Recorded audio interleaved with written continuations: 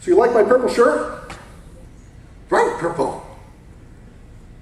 So I had to go buy some new shirts recently. Because I tried this new product called Purex 3 in 1. Have you heard about this? Who's single guys in the audience? You would be excited about Purex, like I would. Purex. It's a sheet, like a dryer sheet, but it's got detergent in it and fabric softener in it. You throw it in the washing machine. Whoa, I never used fabric softener before because you have to open it up in the middle and throw something. that's another bottle you got to buy, but it's all this one sheet. You throw it in the sheet, and then whenever you're done, you pick it all up and put it in the dryer because it's a dryer sheet too. That's awesome. That's a bachelor project, uh, product from, from heaven. I was washing my jeans with it, my sweatshirts with it, working great, towels, everything was awesome. Then I tried it on my dress shirts. And they came out of the washer with these little oil spots on them. Now, I'm a web geek. I know to go look, somebody else must have this problem. It can't just be me. So I went to their website. I found out on Purex they have a frequently asked questions page. And it said if spotting occurs, I think it even said in the rare cases that spotting occurs, rub hand soap on the spots and wash it again. Because I was smart enough to know not to put it in the dryer with the spots on it. So I wash it again and again. And the spots were still in it. So I posted on here. Don't use it. It left spots on all my shirts. I already knew Purex had a Twitter account. Sorry to hear that. They were listening. They paid attention. They responded to me. Step one. Sorry to hear that. Nah, not as good as, oh, that's horrible. But at least they felt some pain. They empathized with me.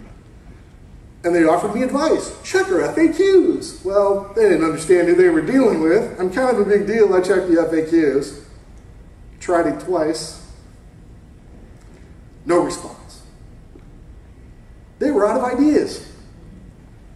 I was still out of shirts. So I posted this question What's a better domain name? Purex sucks or Purex ruined my shirts.com, of course.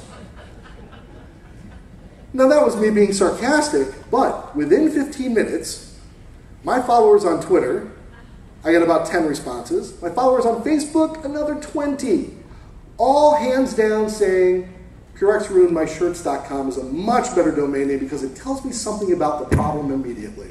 And I said, I got nothing else to do tonight. I mentioned I'm single, right? So, PurexRuinedMyShirts.com is born. Because that's what a web geek with two hours of time in his hand does. Now you'll notice up in the top right hand corner we've got Flickr slideshow. So I took pictures of the spots on the shirt, uploaded them to Flickr, took the embed code, put it on the web page. Then I took my video, my little flip cam video out, took a picture, uh, or took a little film of the spots on the shirt, uploaded that to YouTube.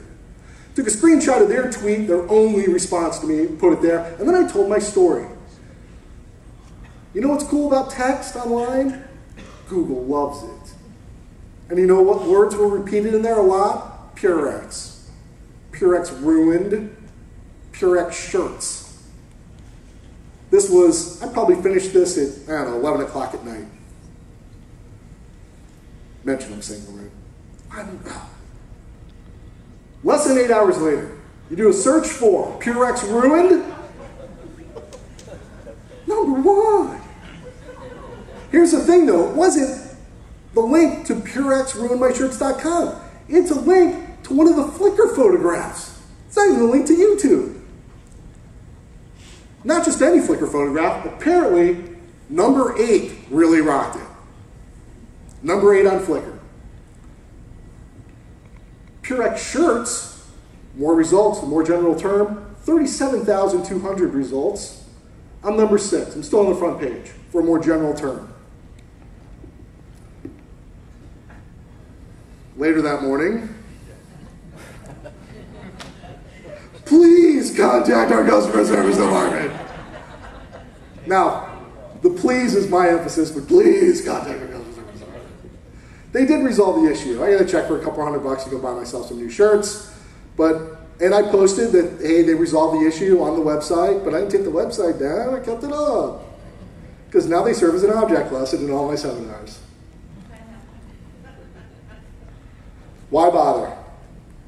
Because I'm out there. Here's what else happens when you post something once. Been haven't made any updates to that page.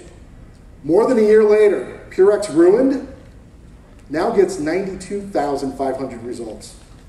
And I own the front page.